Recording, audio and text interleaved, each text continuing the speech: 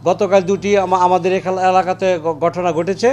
একটা হচ্ছে আমাদের নৌকামার্কার ক্যাম্প, তারা ভাঙচুর করেছে এবং ভাঙচুর করে তারা যাওয়ার সময় জনাব সাধারণ বিহার ছেলে সোহেল সহ বিশ পঁচিশ জন নামদারি তারা আইসা বলছে যে ইলেকশনের পরে আমাকে তারা দেখবে।